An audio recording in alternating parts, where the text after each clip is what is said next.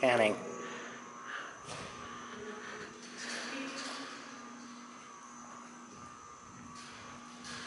Yeah! Do it again, Dusty. And this, we're just gonna keep this up. You guys can record this play. Come on. Easy. Nice. Nice to do this, by the way.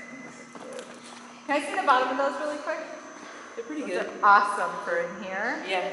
Why? What's up? What's on the bottom of them? You don't, you don't want heavy tread. Oh, You don't want tread definition you get stuck on it and trip. You want a smooth surface. Like Zumba shoes, I guess. oh. Remember those awful shoes that she, she uh, what's her what's her uh, oh, what's her name with the two gray dogs again? The two big gray shaggy dogs.